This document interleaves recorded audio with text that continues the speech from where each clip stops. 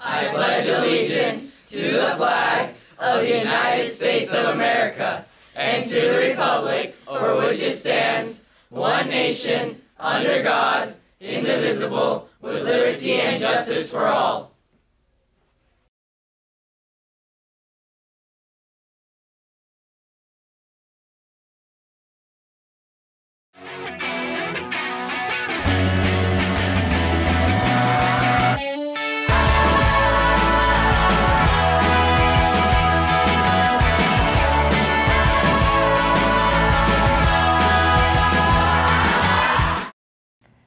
Morning, Cougars. Welcome to SCTV News for Tuesday, August 31st. I'm Haley Tillinghast. And I'm Mia Espinoza. Our first evacuation drill is tomorrow. It will happen in each of the four blocks, and each time students will have to evacuate to the correct area. We haven't done this in a while on campus, so that here's our APs, Ms. Hernandez and Mrs. Harold, with some more details on what to expect. Tomorrow we're going to have a fire drill at the beginning of each block. What students can expect is that about 10 minutes into class, you'll hear the fire alarm.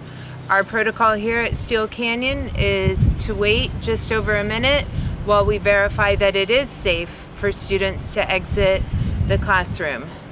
At that point, students should follow their teacher's directions. Students should have their ID on as they exit the building and follow to the evacuation area for their assigned building. If students are not inside a classroom during an evacuation, they should quickly join the nearest class and follow that teacher's directions. As many of you have already been doing and have noticed, all of you should be getting your IDs if you don't already have it, and we're expecting students to be wearing their IDs. It's really twofold. The reasons are, number one, we wanna be able to identify you as a student. We wanna make sure that everybody that's on campus is supposed to be here and we know who you are and you're here for good things. And secondly, if you don't have a first, second, third, or fourth block class, all you need to do is pick up a no first or fourth or second or third block sticker from the assistant principal's office.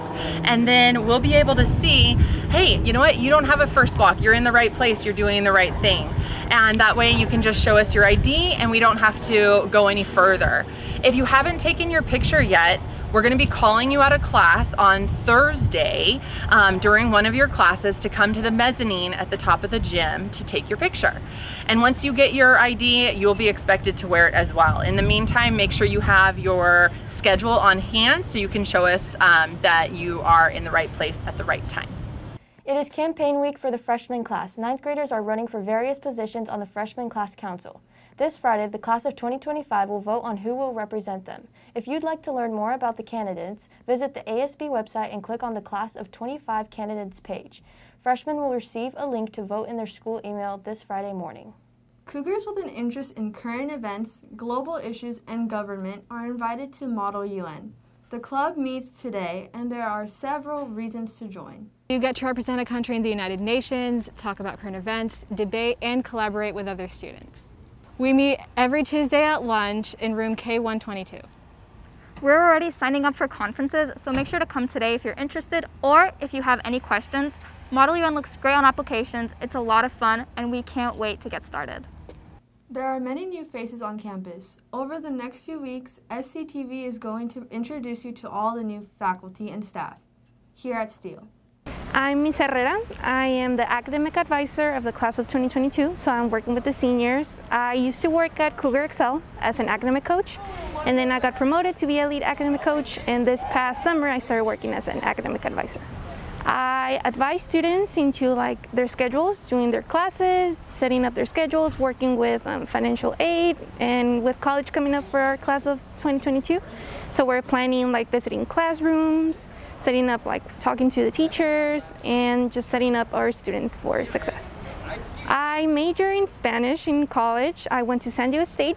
I graduated in 2019, so I'm two years out of college, and I'm from Tecate, Baja California, Mexico, so I travel back and forth.